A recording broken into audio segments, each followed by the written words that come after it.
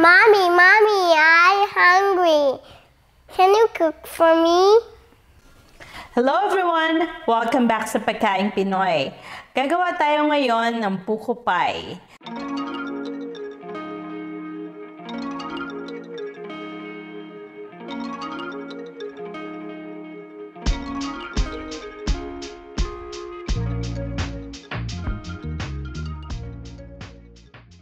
Sikat na sikat to, lalo na sa Laguna. Yung mga nagna-night swimming dyan, ito yung mga pasalubong na hinahanap-hanap natin. So, gagawin natin siya ngayon. Ito yung mga ingredients na kailangan natin.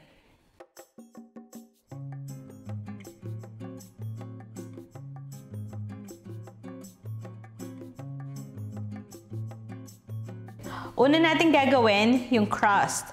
So, nandito na yan sa isang bowl yung ating harina.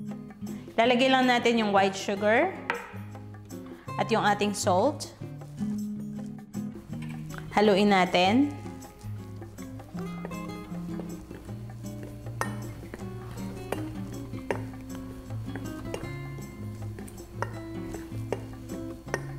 Susunod naman yung egg.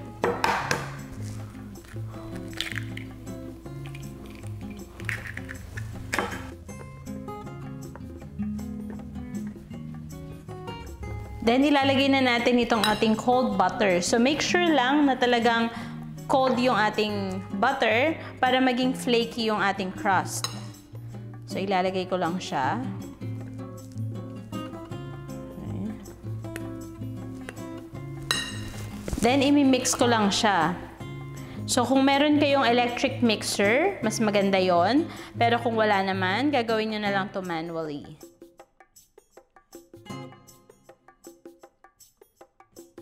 Kapag ganito yung itsura niya, pwede na nating i-add yung water.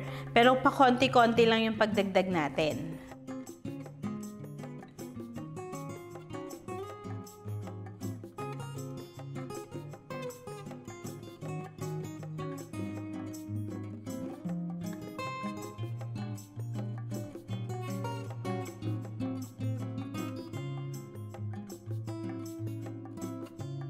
Dagdagan pa natin ng tubig.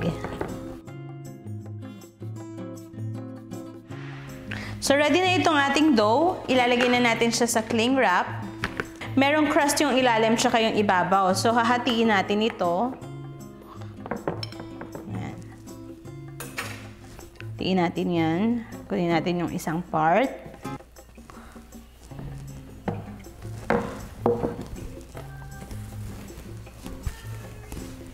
Then, ilagay natin dito.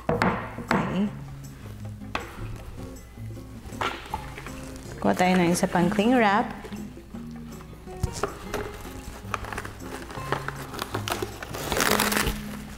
Yan. So, i-flat lang natin ng konti.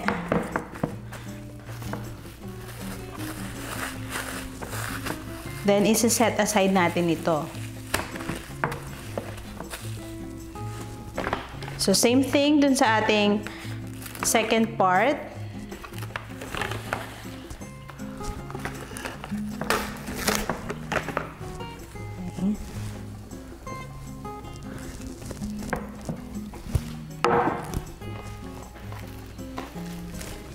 Ilagay na natin sa plastic. Yan. Fina-flat ko lang ng konti. So, ito na yung ating dough. Ito na yung ating magiging crust. So, i-refrigerate natin ito for about 30 minutes.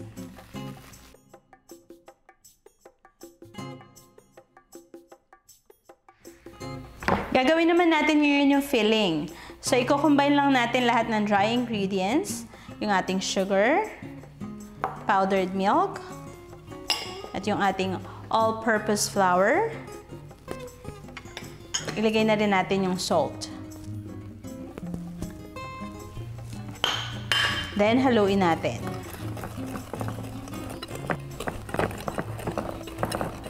So, iset aside natin yan. Next naman, yung ating wet ingredients. So, ito yung ating half cup water. Ilalagay lang natin yung ating vanilla and yung ating egg.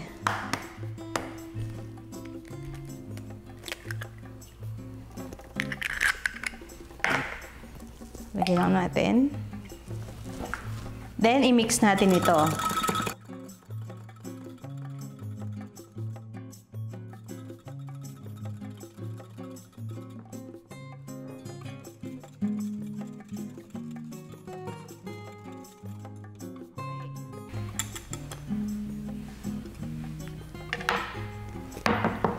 Kunin natin ulit yung dry ingredients at ilalagay lang natin itong ating um, water and egg mixture.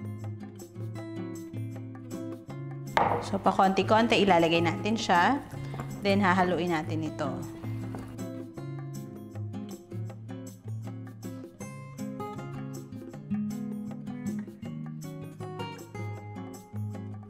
Haluin lang nating maigi. Ready na yung ating dough. So, isi-separate ko lang muna.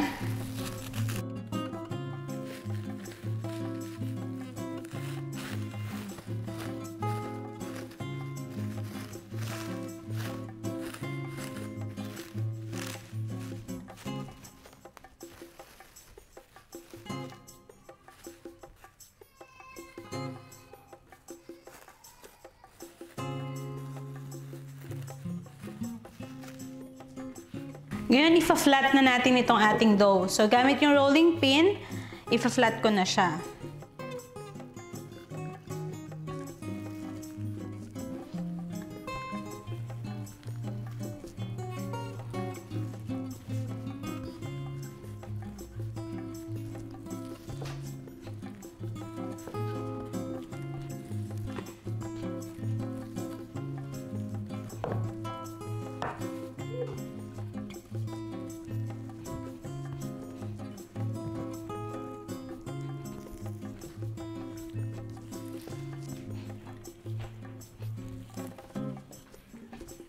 Na-flat na natin yung dough.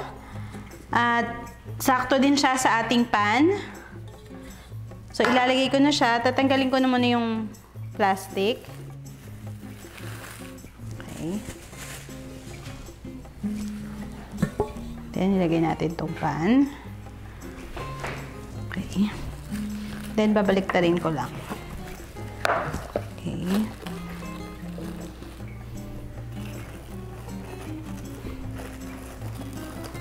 And ifa-flat lang natin siya sa loob. To make sure na walang air dun sa loob ng ating pie. Okay.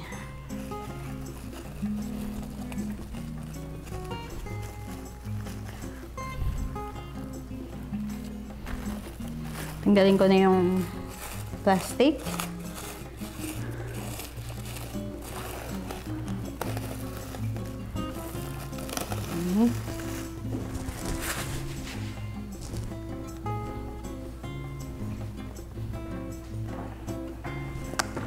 Ikakat ko lang yung sobra dito sa gilid.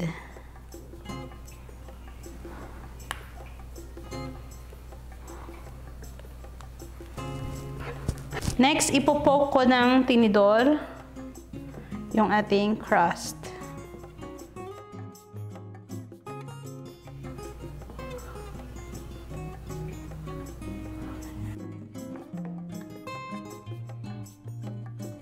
Lalagyan natin muna ng konting um, liquid mixture. So, ilagay lang natin yan. About 2 tablespoon. So, half tablespoon itong ginagamit ko eh. So, apat. Okay, or dagdagan pa natin. Yan. So, ikalat lang natin.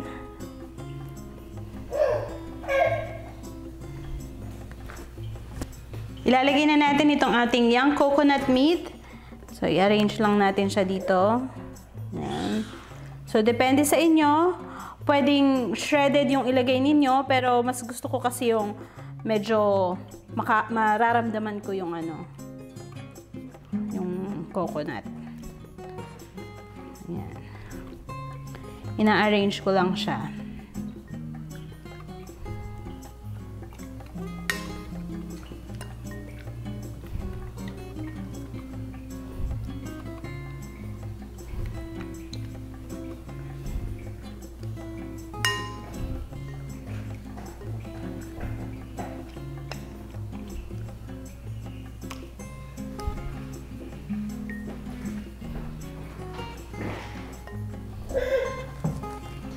Next, ilalagay na natin ulit yung ating milk and mix, liquid mixture.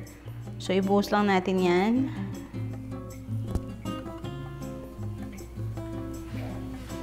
Pwede na natin ilagay yung ibabaw ng ating pie. Tanggalin ko lang ulit yung plastic. Okay. Then, ilalagay na natin siya.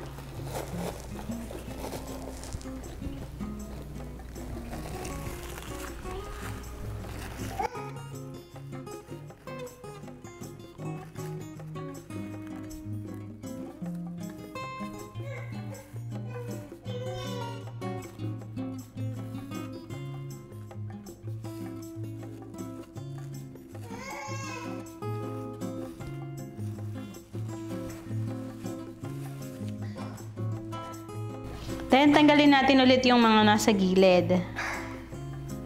Mga excess na dough.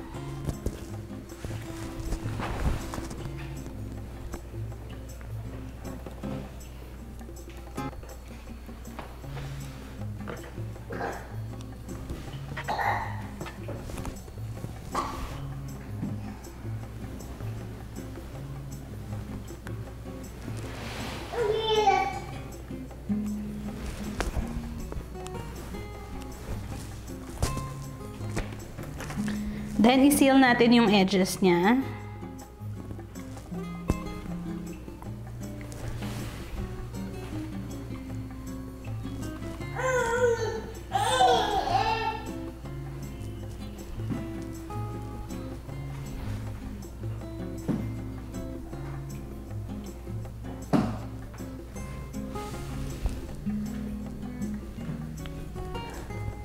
Okay. Ngayon naman, lalagyan na natin ng decoration or lalagyan na natin ng style yung gilid ng crust. So, ganito lang yan.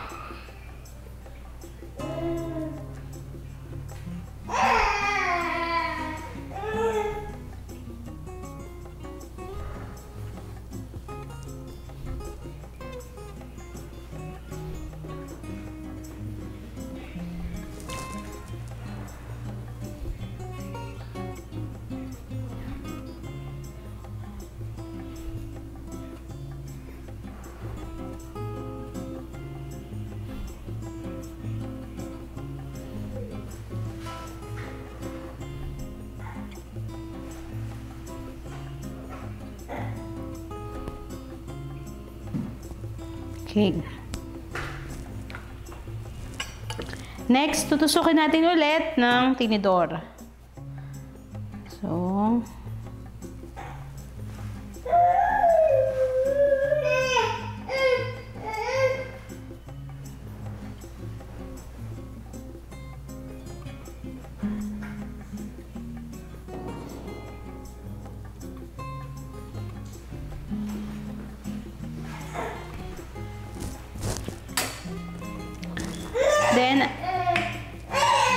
Ito yung aking egg. Lalagyan natin siya ng egg wash sa ibabaw.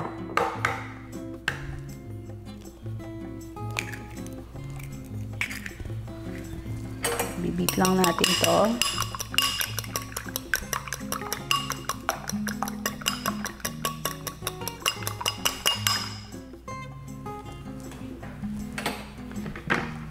Then, spread natin.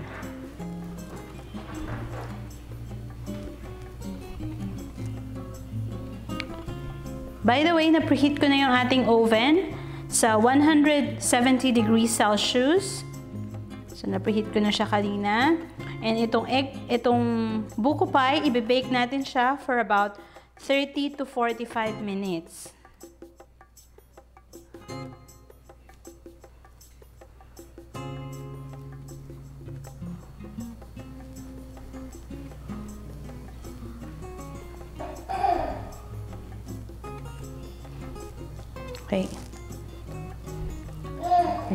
Natin yung crust.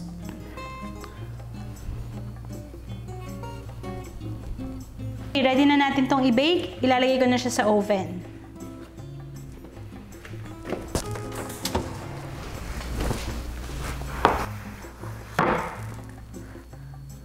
Okay guys, ito na ang ating buko pie. Papalamigin lang muna natin ito bago natin i-serve. Okay, ilagay na natin siya sa plate. Babaliktarin ko lang. Let's see. Wow! Then, ilagay natin ulit. Okay. Ngayon, try na natin siyang hiwain at titikman natin.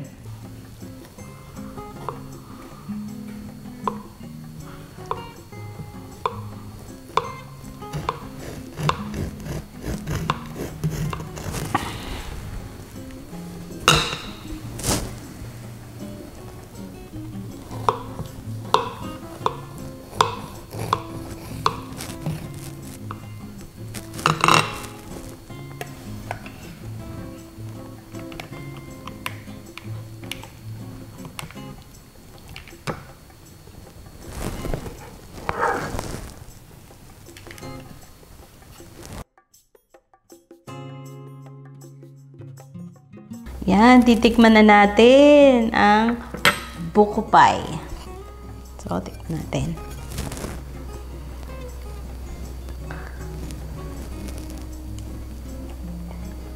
Mmm. Ang sarap. Guys. Sobrang sarap. Isa pa ah. Mmm. It's so good.